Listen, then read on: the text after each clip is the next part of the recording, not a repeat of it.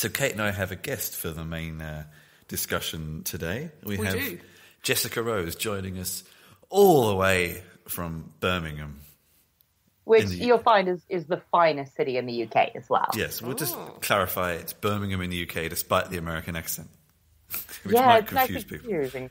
Is it something like Birmingham? I can't do Birmingham. it. Birmingham. There we go. But anyway, that, that, we've just offended at least one person there, so that's okay. Sorry. Don't get me My into. apologies to everybody in Manchester who has to be in the second best city in the UK. yeah, yeah. Anyway, so Jess, tell us a little bit um, about who you are. Oh, that's a nice, big, scary, open uh, question. So, um, hmm, I'm yeah, self-taught technologist, and I, I work on a lot of projects that uh, sort of work with facilitating access to either technical education or work in technology. Um, yeah, I'm an American in Brum and massive Brumophile, just the, the biggest fan of the city. What? What? And I don't mean I, do, I mean this in the best possible way. what is there to love about Birmingham? Oh, you're gonna regret that. You can edit out this because it, it'll go on for about twenty minutes. Sorry, just checking. Do you say Brumophile? Brum. Yeah, is- oh, What's a yeah. Brum? so Brum's sort of a, a local name for Birmingham. So the folks from here tend to be called Brummies. Uh, I've heard Brummagem as well, which is wonderfully old fashioned. Um, yeah, I'll try and bully you two out for a visit sometime soon. It's just an Oh, absolute it's it's it's not hard because I think the one thing that would sell it to Kate was probably joint first best curries in the UK. quite clearly. It's got more miles of canals than Venice. Uh, the city markets, so the open markets, have been on the same site for 2,000 years. Really great Chinese food, really great Indian food. For me, it's like the most laid back multicultural city I've ever been to as well. Kate's making wow so you faces. see places like New York or Sydney or Kuala Lumpur get a lot of credit for it, but Birmingham is just so laid back and so easy. Okay, tell us um, where your journey in technology began. Oh dear, I um, I was a teacher and a linguist for a long time. So uh, taught in the states and then out in Japan for a bit, uh, and followed my now husband sort of back to England. Um, and I, I, it's a little bit embarrassing, but wound up working for this like divey little startup, like kind of dodgy but not terrible, like good kids. Uh, and I noticed that all of the programmers got paid on time and they didn't. I, I, I was fairly sure that they were getting paid a bit more than me as well. Uh, but at, at the time, getting paid on time sounded really attractive, and it didn't look that difficult, uh, which might have been a, a, a failure to understand the complexity in the system. Uh, but yeah, started self teaching and sort of moving up to more and more technical roles. And now I work in developer relations, which is a weird combination of public speaking and writing. It's it's sort of community building and outreach as well as technology. Actually, Oh, this is something I wouldn't mind um, going into a little bit more because it's not something that gets spoken about too much. Um, I know of one, if we're talking podcasts, I know of one podcast that covers this topic very loosely, uh, and they still cover it more from a marketing perspective anyway. So, yeah, what would what would you describe as the, the, the point, the goal, the aim of developer relations? So I'm, I'm actually I, I'm so I'm going through the process with some potential employers now, and I'm always really careful to spell out what developer relations does and doesn't do. Uh, when I first heard of this, th- I thought that there's no way that this is a job. It was just too good. Um, but developer relations is generally, and it is it is a type of marketing. It's a way to market to some of the most difficult in a good way, sort of the the savviest potential customers possible and doing it in a really technical way. So you can uh, you can get a couple different outcomes through developer relations. You can get people sort of aware of the product, hearing about you. You can grow your user base, especially for sort of open source or free software projects. It's really really valuable there. Uh, and you can do a lot of community building. So if you say, do you know what we want to have developers talking to each other, talking about what they're building, showing each other tips and tricks. It's a really good way to sort of build have people responsible for building community spaces, which I quite like. Do you feel that um, to do that kind of role, you have to have um, adequate or even appropriate technical knowledge, or know, it's always been somewhere some something where there are some people who do and some people who don't, but it kind of depends who you're evangelizing or relating to. Um, and some of the audiences you have to deal with can be more stuffy towards people who don't know what they're talking about versus those who do. Do you think it matters, or do you think it's more about being pleasant to people and that can be enough? Um, so this is actually something I've I've ranted about on the DevRel podcast. So we're gonna, we're gonna come around to that. Um, I I sincerely believe that you have to understand the product, understand the use. So you have to understand what what you're asking people to do with something. Um, but at the end of the day, I think that the split, so community managers and developer relations professionals, often essentially do the same jobs. Um, so you'll see the exact same kinds of activities in the, in both roles. You'll see people writing technical content, managing technical communities, public speaking at hackathons. Um, and it's really frustrating because community manager is generally presented as a less technical role. And it's it's not paid to the same level, which is very frustrating. Are community managers generally paid roles or unpaid? Oh, okay. I've seen some some community manager roles that that I was very unhappy with the salaries attached to. Yeah, it's interesting. I've um, in the, in the week I was away at um, Node.js conference in Amsterdam, and there was a, a sort of underlying feeling of political discontent, shall we say, with you know a certain cohort that was attending uh, that were fairly visible and fairly um, vocal about it, and it, it. I think there were a lot of challenges in how they were able to manage that discontent.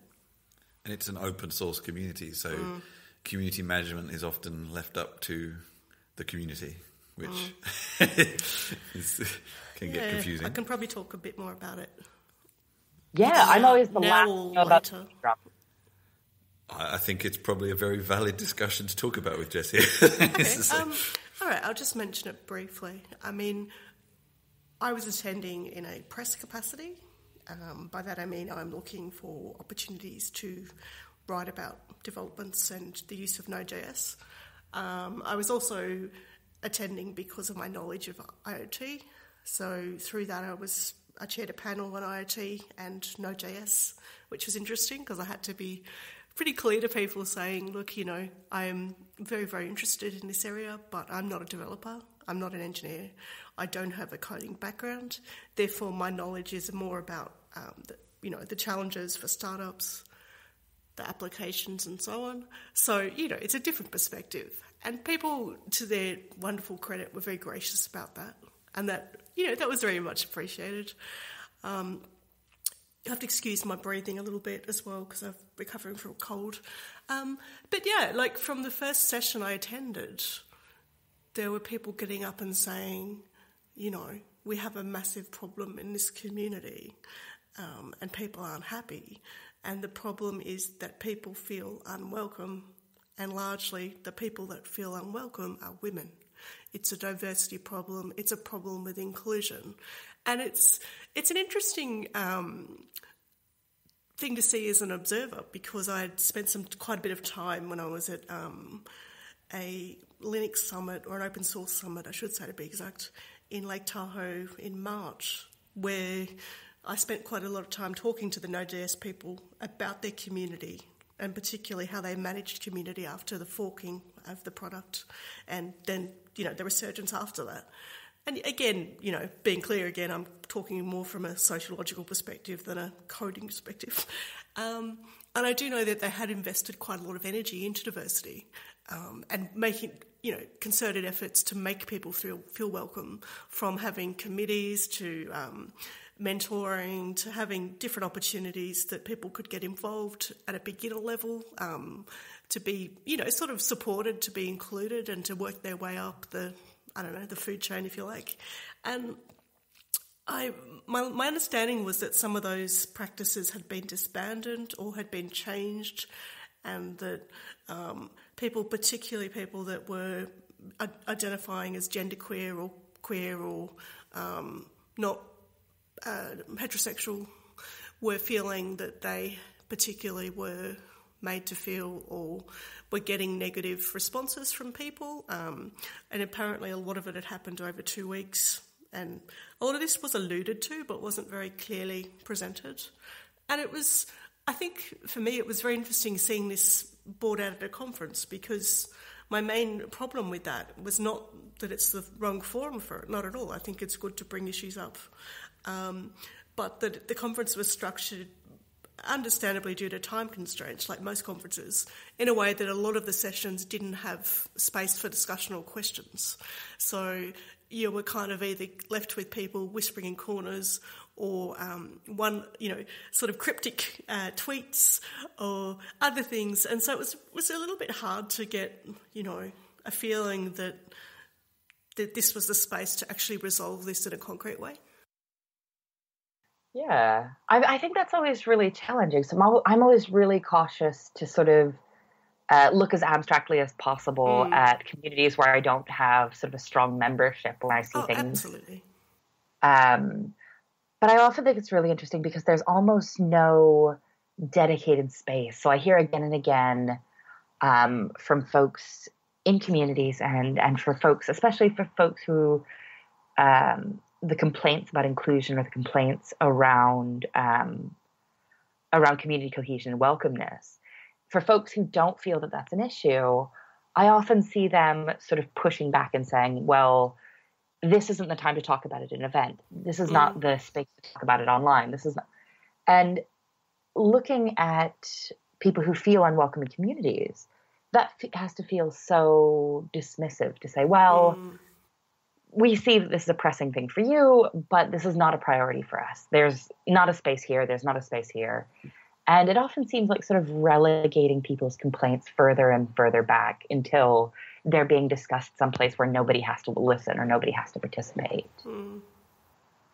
Um, yeah, it's really frustrating. I think that, uh, not specifically Node, but just communities in general, that once you sort of get a bad reputation um, or once people start to feel unwelcome, changing the tone of an existing uh, community is so much more difficult than than building for the first time. Um, and I think that if things get get to the point where a community has to say, "Oh no, now we're very welcoming," I think a lot of the people who've left or felt excluded before are going to be fairly suspicious about coming back around. Mm, absolutely. Mm. Have there? Could we think of any? I don't know. I, am trying to think. I have good examples of ones that are good and ones that are bad, and um, even sub communities. Like, for example, you know, PHP generally is not that welcoming, but some of the sub communities of PHP are. Well, it's funny because, like, at the conference, I got a very positive perspective by some of the side projects. Like, there is obviously a Node school, and there's one mm. called um, Node Together, which unfortunately they don't have in Berlin. But it is. There is a Node school here, I think. Yeah, but there's not Node Together. That's what I just said. Um, which is basically a, a teaching program for women where the I guess the aim of it is to create apps. So the reason it attracted me as a concept is it has an outcome. So it's I've been to a number of coding classes as a you know quite a beginner, and it's very hard because you go for a day and you leave and you sort of don't have a, a, space for the knowledge to put it to incorporate it into your life. Whereas something where you make something and it's something concrete is is a very way good way to engage beginners, as an example. Um, and I might add, as a conference, most of the speakers, if not the majority, were women as well, or non-defining gender. So I think they actually got a lot of things right as well. Like when I look at communities who are just doing things really, really well, so I don't think anybody, any community at scale is going to have problems. And that's not an excuse. That's not, oh, well, we've got more than three people. Of course, there are problems. Um, but so within PHP, I absolutely love Laravel to bits right now. Laravel, I think, really started with building community and the technology at the same time, which was really valuable. Um, and I never miss an opportunity to say nice things about Python. How lovely are the Pythonistas? So I guess we can say that with a lot of these, with open source communities especially, um, usually the, the the core foundation, the core project, it's it's probably focused on furthering the project, mm. um, and there has to be space left for the community to self-organize to to do the things where gaps are, uh, and the ones that do it best are the ones that leave the the most open gaps in terms of um, allowing people to actually fill those gaps and not being too uh, sacred about not letting them fill those gaps. Um, and I guess open source as a as a general would mean it would it would imply that um, that anyone can, but it's not always the case, I suppose. Uh, and the ones that manage it better are the ones that leave more open space. I think as well that you get communities that really take quite a bit of direction from what's visible within the community already. So if you've got, I think Matt, uh, Ruby and Matz is a great example. The whole Ruby, we are nice because Matz is nice, um, has become sort of a community touchstone. People keep coming back to like, well, let's try and be nice. Uh, and within Python, you've got really vis- uh, visible Pythonistas who are very, very uh, interested and very, very um, they, they really invest a lot of time in building community spaces, building educational experiences, and keeping things just really lovely. Uh, and I think that if you've got communities where um, folks being unpleasant or unkind or jerks hmm. are are being brought together and sort of given visible spaces, it, you're going to get people who are okay with that and think that's the tone that, of the community they want to be in. And you'll see that continue to develop in that direction. And if you have folks who are very visible and sort of rewarded within the community with status and influence, who are really, really aimed at keeping things lovely and snuggly and warm and inclusive, uh, you'll see a lot of people who care about those values trending and heading over there. So actually, it's uh, possibly counter to what I just suggested. In that, in fact, to keep, and I don't think this is unusual, and I think we've probably all experienced this. To keep communities running, you do actually need um, a, a, considered effort, um, a considered um, way you're going to do things, and to have people on board with it, and maybe.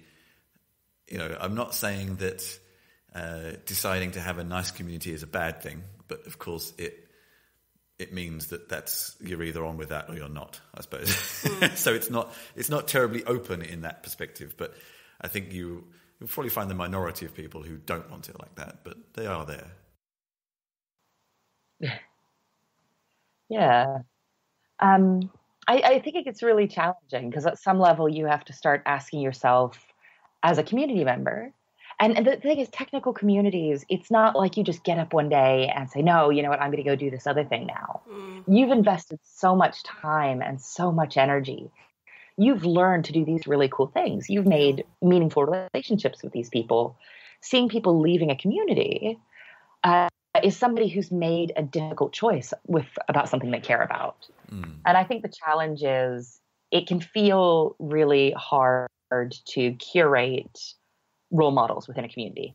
Yeah. You say, well, we can't we can't do anything about this person. They're a really valuable community member. They've been around for ages. And I think the difficulty there is that is a really concrete loss. If you say, well, we we don't want to remove this person from the board. We don't want to remove this mm. person from speaking engagements. We don't want to remove them yeah. from a position of status because that's a visible loss. Whereas the people who are quietly leaving communities or the newbies who come in and go, that is not for me, isn't a really visible loss. You can't really measure that unless you're listening very carefully. Yeah, yeah it's like, um, I guess, the legacy members or um, founding members of organisations. I actually saw a, um, uh, a meme recently I quite liked about that, and it was basically about the notion that you should be polite or not, um, you know, to give you know consideration to older people for their rudeness or their bigotry. It's like, oh, you know, they're old. And the response was very much one of, well, that just means they've been through all kinds of, you know, historical events and experiences in civilization and they still haven't learned from it. Ooh. It's quite, it's quite clever. I quite liked it and I agreed a lot with the sentiment. I think there's uh, different levels of all sorts of people, including older people. Oh, yeah, I wouldn't limit it to just yeah, one. maybe we won't go down that path too much. I wouldn't mind actually um, asking you, Jess. Uh, I know this was something I have seen you talk about in the past, and I'm not sure if it's something you don't talk about anymore, or I just haven't seen you talk about it recently. But the um, the concept of imposter syndrome in this sector. Um, Oh dear, I'm speaking about that. Um, so wow. I, okay. Wednesday, Wednesday. Okay. and there's there's some reasons coming. That I'm coming back a little bit full circle with some of your recent activities um, on this in a second. But Just to clarify, is, it, is that in an event, Jess, that you want to um, let our readers Uh, of course, I'm going to be speaking at uh, DrupalCon in Dublin, which just looks Ah, yeah. so exciting. that is a community Uh, so that we I was. Uh, unity.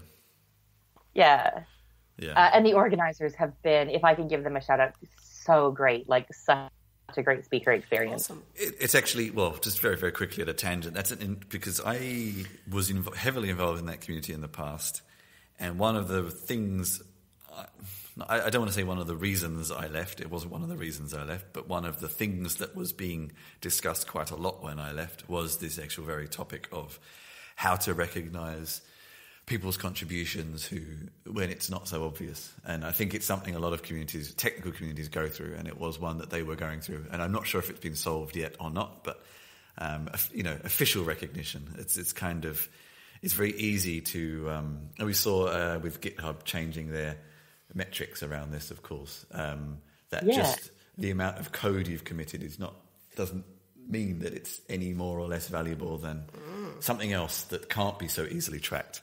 Um, yeah. That would ruffle some feathers, I'd imagine. Uh, yes and no. Yes and no. Uh, It, it doesn't ruffle as many as you think. I think the bigger issue is just how to actually represent it. Okay. Um, it's like if Yeah. I go and do five talks, what does that actually mean?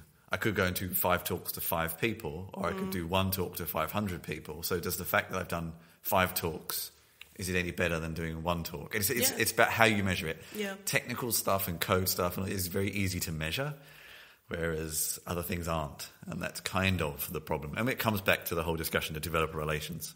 The, the worth of developer relations. It's how do you measure it? And um, something I remember from when I was doing actual Drupal stuff was that I would talk at an event, and sometimes six months later, a client, a potential client, would come forward. You know, how do you measure that? It isn't immediate effect. Um, yeah, and this is this is why the community struggle with it. It's not that they don't want to do it; it's just figuring out its worth is is very hard. Um, but yeah, um, let's come back to the imposter syndrome. Maybe if uh, you could explain briefly what, what, what that means, what it means to you, what it means. Uh, so yeah, I, I describe imposter syndrome as this uh, sort of cold, sick, wet feeling that you get in your chest sometimes, where you feel like you have no idea what you're doing, and everybody around you they seem fine. They seem like they know what they're doing. So clearly, you don't deserve to be where you are. You don't deserve to be doing what you're doing. And oh God, everybody's going to find out you're a fraud. They're going to catch you. You'll get fired. You'll you'll lose your flat. Um, not sure everybody goes through those same stages. Um, but yeah, it's it's the feeling that you're not as competent as you actually are. It's it's your brain having a terrible time with self assessment. How? I mean, how? Okay, this this is especially an interesting, pertinent point for people who are beginners, and um, maybe Kate and I, in some respects, represent this in different ways because in some fields you are newer to understanding them. How? When? When? How? How can you tell that you do know what you're talking about, but um, you're not very confident about it versus actually maybe you've more got more to learn yet. how does one? How do you tell them apart? Uh, awesome. So this is great. So uh, in my talks, I often talk about how the the feeling that you don't know enough is often your best sign that you're actually competent. Uh, so Dunning Kruger is another cognitive bias, and it's it's um, um, it's a really really interesting study. I love the study, but demonstrates that people who are the least competent are usually unable to see their own lack of competency it's great because the ab- abstract actually says too stupid to know they're stupid, oh, wow. uh, which is delicious. That's biting. Um, yeah, it's good. It's good. Researchers. Uh, but it's it's really wonderful. So I, I often frame imposter syndrome as your brain giving you really unhelpful error messages. Um, and I think that one of the most valuable things you can do in response to that is when you do have that feeling, oh God, I don't know what I'm doing uh, taking a very short break is so useful just so that doesn't spiral into weird panic. Uh, but also taking a, taking some time and doing self assessment. So if your brain is terrible about assessing your skill level, go out and get validation externally. So I really love whenever I feel like I don't know what I'm doing, I always try and do some mentoring calls because giving somebody else support and advice, you come away from it thinking, oh, maybe I do know what I'm doing uh, taking tests, building a side project, anything that gives you a sort of finished feel uh, is a really great way to combat your your brain giving you crappy error messages. And what if the outcome of taking one of those tests is maybe you prove you don't know what you're talking about? What's the what's or you don't know as much as you thought you knew? What's what's kind of the steps from there? I guess. Yeah. So, having been a teacher and having been like a very fluffy, uh, exploratory teacher, like, hey, we'll all learn together. I think that oftentimes we contextualize assessment and we contextualize failure wrong. Uh, so when you when you do go through an assessment process, you say, ah, I have failed at this. I don't know how to do this. The message I'd really love people to be taking is, oh, I need some more support with X. I need to do more Y. Uh, so this the emotional feedback of a failed assessment is weirdly devastating when really it's nothing's changed. You've just got more information that lets you know what you need to work on. yeah. That's a very nice positive way of looking at it. Oh, yeah. It is. Actually, yeah. Very constructive. It actually gives people something to work with. Yeah. That's a very nice positive way of looking at it. Actually. Absolutely. And and I oh, think yeah, yeah, and I'm yeah. Yeah. I'm saying all of this like, oh, do you know what? It, you need to separate the the assessment from the way you feel about it. But every time I fail something, I I am appropriately devastated and feel like a failure and have to come back around. No, for sure. Uh, uh and it's it's not even that though. It's those sometimes the the it's the it's the personal stuff. It's the saying something that's perceived by everybody else in a room as, huh you know, that wasn't the smartest thing to say, and feeling really embarrassed by it. And it's actually that's that's often the worst feeling of it. Is yeah. oh, I do that all the time. I'm yeah. kind of used to that feeling. yeah, and and I mean, yeah, it, it's it's. I think, and coming back to community, different communities, and I include just I don't know a room full of people as a community in this context uh, uh, different communities could be better at making you feel worse or better mm. about situations like that. That's true. Yeah. Uh, and I think in technology, we're often spending a lot of our energy trying to show how clever we are. Yes. Mm, uh, and often in ways that sort of tear at other people. So every time you hear somebody say, well, this isn't a question, it's more of a comment at the end of a talk. Um, whew, uh, just for the listeners, speakers hate that so much. Yeah. everybody, everybody hates it, apart the from the person who who put it. We've, I, I have an. There's another term for it, which is called a lefty question, um, which is because it's so popular in left wing political circles that people, when they say you can ask one question, they get up and they'll do the um, either three questions in one, or which takes about half an hour to ask, or alternatively the comment that's not actually got a question. Hmm. I, I, yeah, get, I get the impression they come from the same the same source. smart people trying to outsmart each other, as you just said. um, yeah. I think I Yeah, think I think we cut it- you we cut you off somewhere. So Sorry. sorry. No, no. Um, and yeah, for me, it's just so exhausting and so self defeating. So we've got a lot of people trying really hard to show each other that we're very clever. Um, and that doesn't really allow for a lot of space for collaboration and working together. Yeah, it, it's, I'm not mad, I'm just disappointed. And and again, I think coming a little bit more circle, this actually relates nicely to the sorts of work that we all do. Um, explaining technical concepts in a, a variety of different angles. Um, actually, we may not be as clever as some of the people who we help explain, but we're better at certain aspects of it. Um, you know, I spend a lot of my time trying to explain what very clever coders have done in, a, in, a, in words that will make sense to people. And sometimes they're very clever at coding, but not very good at explaining things. And Kate, you do it in the way of um, getting it out to a to a kind of more mass market of understanding why something that someone very clever has worked on might be useful. And Jess, you do it in a sort of cultivating those people a kind of way, you know. And maybe we're not as clever as them in that particular way, but we're clever in other ways. Yeah. Yeah, and I think for me, especially in the work line of work I'm at, um, stopping like it, it's it's a it's a personal failing. There is nothing I dislike more than people talking to me like I'm stupid. And working in technology is a great way to find a bunch of people who are super ha- happy to talk to you like you're stupid. um, and I'm not. I don't think it's malicious. I think it's just the a lot of the way we communicate in tech.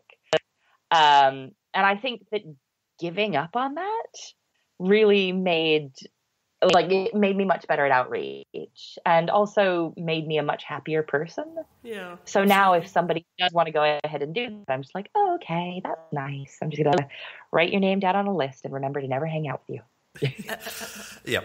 I think. oh I god i think don't think i actually have a an actual list yet I have a mental list. Oh, I'm kind of liking the idea of the list, actually. it's not published, but it's a mental list. Okay. Um, I think I'm going to sort of slowly steer the conversation towards an end via a couple of uh, alleyways. Um, so, one thing that Kate and I like to talk about, and I'm, so I'm going to start with you, Jess, is uh, things we've been um, up to the past whatever period it was since the last time we did a podcast. And I know specifically starting with you because you already alluded to it, but you have been spending some time um, the past couple of weeks doing uh, mentorings and sort of one-to-one sessions with people who want Yeah. them. So I would love, you know, in as much as you can actually um, say, um, the sorts of things you've been talking to people about and um, I don't know commonalities you've spotted around what people are needing help with. Um, yeah, as much as you can talk Yeah. about it. So um, yeah, I'm I'm in between roles right now, which has been really exciting, and I'm caught up on sleep. Uh, oh, it's glorious. Uh, but because I had a little bit of extra time and I hate to relax, I've been doing a lot of mentorship calls. And I really recommend these for folks who want to get better at leadership skills or just want to do something nice. So it doesn't have to be something formal. I just go ahead and ping out on social media Hi, I'm available for one on one mentorship calls. Um, and it's really interesting. So I've been having quick 30 minute calls with folks who want to talk about either getting into public speaking, which I'm always super happy to talk about, uh, folks who just want someone to listen and help them navigate what their career path might be. Uh, and then folks who have like really specific questions about things that I'm not always qualified to help with, but that I'm I'm really interested in sort of chatting to them and seeing what kinds of resources we can find. Um, and the thing that's been common amongst all these calls, so all of the career calls, have been things where it's just me listening to people talk, tell me about what they're doing and what they want, and really just repeating it back to them in ways that sound really actionable. I think deep down, everybody has a really clear idea of what they want to do. But sort of getting validation externally for that, getting someone to say, like, no, that's a great idea, do it, uh, is something that we don't often have in our professional networks. This is actually you just sparked a thought in my head. Uh, someone told me, and I, I was to try to find the details, but um, someone told me about a guy in the US somewhere, and it sounded like the perfect job as far as I was concerned. Who people pay him to, and I think now he's got other people helping him to just uh, walk with and talk at. so, so um, and you know, Yeah. I mean, this, this is not an original idea. Paying people to listen to you is, of course, not an original idea. Yeah, I think it started in San Francisco. Probably, I Most think it probably did. I am. But um, it's just that that kind of yeah. Do not underestimate the uh, power of just or the, the need maybe of just having the opportunity just to talk with or even just at someone for a while is actually um, yeah. And we were talking to some coaches during the week as well at a startup event here, and I've always been a little skeptical about coaches, but then some of the stuff they explained actually made me see it in a completely different light. Um, and one of the people was actually a very high up executive with quite a well known project, which I won't name. Um, and he, to me, and this comes back to the imposter syndrome thing, maybe, or reverse imposter syndrome. I don't know who had the imposter syndrome, him or me. This guy to me was good looking. He was he looked healthy. He had a high powered job, Yeah. etc. etc Internationally travel. international travels. stuff, yeah. And then he said to me quite openly and bluntly that he uh, speaks to a, a, a guidance counselor, a psychologist, um, A careers counselor. careers counselor, but he was actually saying this person was more of a psychologist. And we were talking about this very, very bluntly, and he was quite happy to talk about it.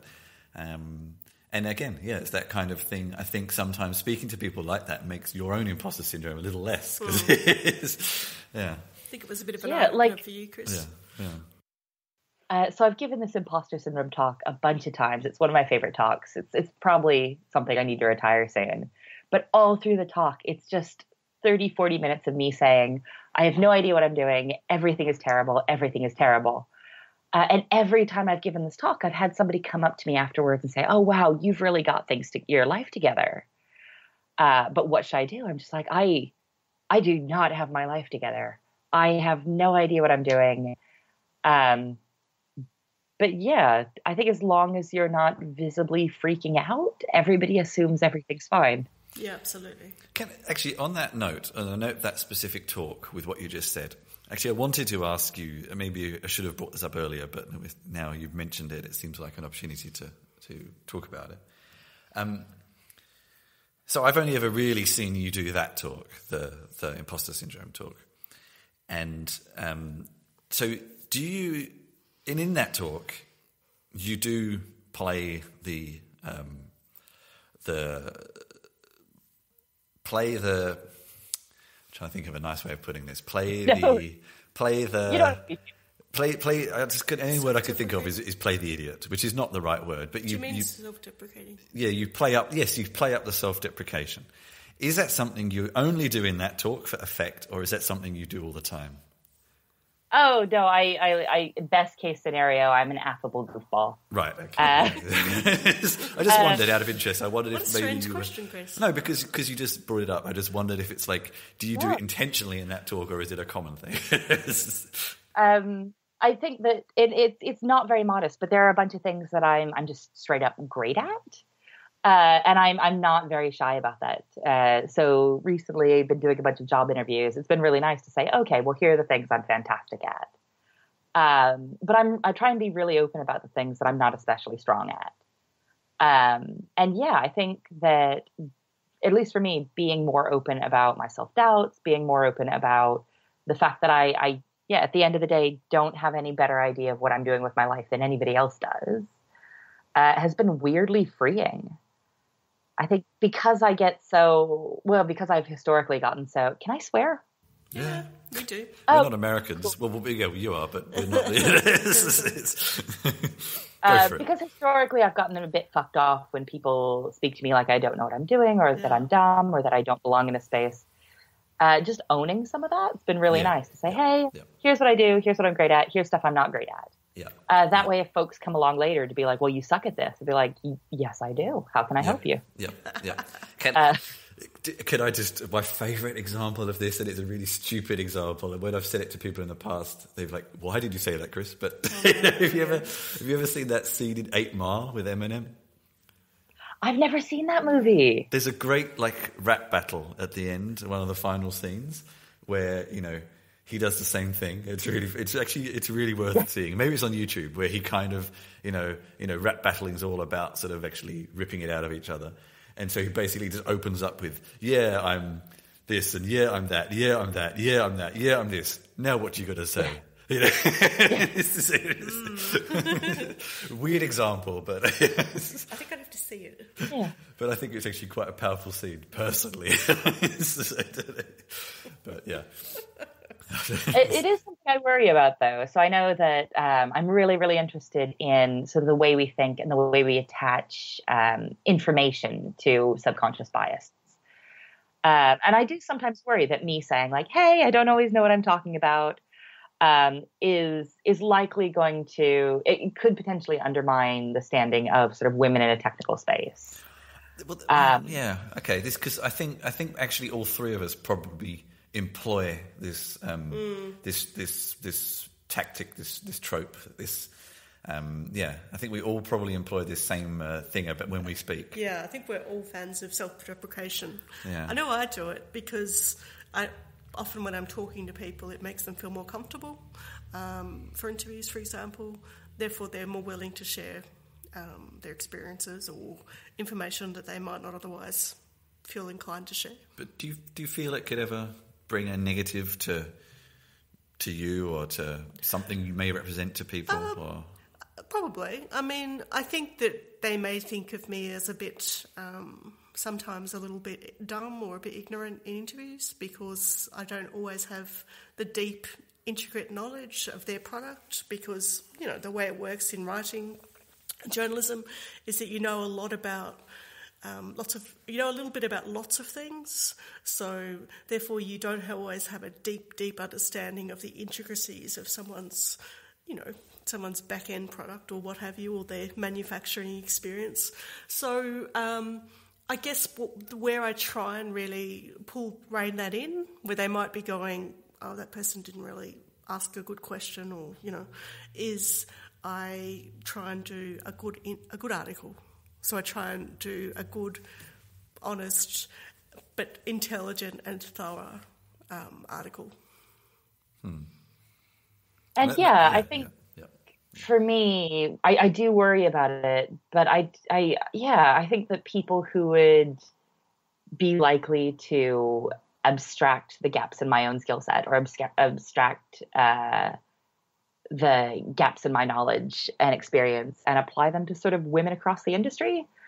Um, yeah, I think folks who do that might just be assholes. So I don't know how much energy I have for that. Yeah, that's very common. And then I think you've both already said, you know, but you follow it up with the end result of what you were, you know, what you're related to being good. So it's it's kind of like, well, if you're going to judge me based on a half hour talk I did and not look at my body of work, mm. then well, yeah, you are I, also. Folks can totally judge me on that talk. It's a great talk. you know what I mean. You know, you know, anyway, okay. Um, I think it's probably time we start drawing to a quick close. So um, let's go round the table. um, Jess, so in addition to like the the mentoring calls, what else have you been up to the past week, and what have you got coming up over the next few weeks you'd like to tell people about? Um, yeah, so I did an article for Gadget that I'm quite pleased with myself oh, with. Um, uh, there was a Sun article uh, for international uh, listeners. The Sun is kind of a newspaper in the UK. Yeah. Um, which I don't generally have beef with, but they wrote kind of a silly thing about open source. Uh, so yeah, got some really, really nice experts to help me rebut it. Uh, so unusually pleased with myself. Fantastic. Yeah. Um, and we'll be sure to put a link to that article on um, on our website with the podcast. Yeah, I have to find it because it's hard. It's hard to Google because, of course, you get lots of results about Sun, as in Sun Microsystems. Yeah. So I'll have to oh, uh, yeah. dig, dig, dig, dig a little to find that. Oh. And in the next couple Uh, of weeks, you, you've got a talk coming up at DrupalCon Dublin, and anything I else? do. Uh, so I've got a bunch of talks coming up. I've got a talk coming up in Dublin. I'm really excited to be out speaking at Dreamforce this year. So out to San Francisco, and that's going to be nice and stressful and weird and exciting. Um, but yeah, just lots of speaking and lots of being on the road and lots of mentorship. Fantastic. And just to clarify, Dreamforce is a developer event for Salesforce, in case you haven't mixed. who thank knows? And again, we Okay. will put all these links on the bottom of our um, Actually, that's another topic I would have liked to have got to the community enclosed source. But anyway, let's. I don't we've got time for that maybe one, have time. Kate, what are you up to? What, what anything you want to highlight from the past few weeks, and what are you up to over the next couple I'll of weeks? try and keep it brief. Um, yeah, look, I've been working on lots of writing. Um, it's been a little bit slow getting it published at the moment, just because our editor's been travelling a lot. Um, couple of highlights, I guess, that I've been working on. One is um, been looking particularly at um, smart cities and stepping back a little bit from the kind of bigger picture of smart city to look a bit more about the whys. Um, because I think it's an area that's not really been explored. And an, a case example, which we've probably all seen in the media, is in New York, the link system uh, public kiosks. There was a bit of an issue there where they Sad. Found that the kiosks are basically free Wi Fi, free charging stations, free city information, and free phone calls for people, members of the public.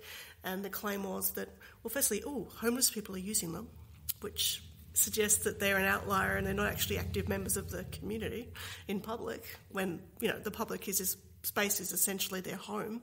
And secondly, that a small number were watching porn or masturbating while engaging with them. So they've just, uh, what's the word? Um, they've had to cancel the Wi Fi functionality, I think. But I mean, I think there's a couple of really interesting issues. One is about how we use public space, who's allowed to use public space, and the policing of that action. Secondly, one about um, the fact that there was a limited way to actually really be able to respond to this. Um, I know this particular issue, if you're going to be blunt and look at it, of pornography in public, uh, ill viewing of pornography in public from the internet is also a, public, a, a problem, particularly in um, public libraries. So, you know, the unintended consequences of smart cities not being planned, uh, and then about, you know, some of the bigger issues of po- the policing of public cities and public space. So I think, I think that's a topic we could cover in itself. Yeah. Um, just another quick one I've been working on at the moment is um, about safe. Uh, which one should I mention? Just edit that bit, Chris. Another one, quick one I've been looking at is the British Standards Institute and their guidelines into social robotics. Um, they produced a document, the BS 8611, Robotics and Robotic Devices, and it's basically a set of guidelines to um, help designers and people interested in, in robotics create ethically sound robots. And I guess the really underlying principles there are don't use robots to harm or kill people or animals. And there's a certain level of irony just in that because we know, for example, that. Um, there's a lot of scenarios where drones are used to kill people, um, and is a drone a robot? A lot of lot of questions there. Did the military get uh, special treatment? Yeah, or, or the police for that matter. The police do use drones a lot in um, shooting situations. Uh, but yeah, I've so hence you know a little bit of research into humanoid robots and some of the uh, sociological consequences there, and um, it's of course another area that you could talk about for months because it's absolutely fascinating, and uh, I'd encourage people to have a little look, see, very interesting area. I feel slightly uh, dumb now mentioning mine after you've talked about the uh, ethics of robots and smart cities. Anyway, um, I started a new job in the past couple of weeks with uh, a company here in Berlin called Contentful, which has taken up quite a bit of my time, but has been pretty good so far. So on the side of that, um, for CodeShip, I wrote an article on an introduction to CoreOS, which is a sort of production operating system for containers, if you're into those sorts of things. Um, I started redoing my uh, weekly squeak of series of links each week. So I've had a couple of those the past few weeks if you want to check out some interesting links. Um, spent quite a lot of time working. This is going off on a slight tangent, but I've mentioned my board game on this podcast a few times, and I'm taking it to Essen, the biggest game fair in the world here in Germany, in about three weeks. So I spent a lot of time putting out some updates to that, which I would love it if you tried them. Um, and finally, over the next couple of weeks, so I'm going to Voxxed in Belgrade next week to talk about Swift, mm-hmm. which is not something I'm talking about much more these days. It's a bit of a hangover talk. Uh, and then I am speaking about uh, documentation at LinuxCon here back in Berlin. And if you are in Berlin, we're having the Write the Docs meetup here tomorrow on Monday. Uh, and I hastily assembled a panel for it, which is actually quite interesting. It worked out really nicely. Kate's going to be on it. Um, our friend Charlie Sorrel is going to be on it, and someone else whose name I've completely forgotten because I only met him two weeks ago, is also going to be on it. And all three of these people are tech journalists. Um, and they're going to talk to our writer community about how tech journalists kind of represent um, tech, I suppose, in a different way. And that's uh, here in Berlin tomorrow. And you can check out the meetup page to find that. So, um, yeah, Jess, uh, I have your Twitter handle as maybe you can tell people where they can stay in touch with you. Uh, yeah, if you want to see uh, stuff I'm writing, uh, Jessica.tech is my very vain vanity domain. And you can find me on Twitter at uh, Jesslynn Rose. Great. And thank you very much for your time. Um, and yeah. thank you so much for having me. Y'all have been oh, delightful. Absolute no pleasure. I think we've had a really interesting discussion this morning. And we will see you in the next episode of the increasingly inaccurately titled Weekly Squeak.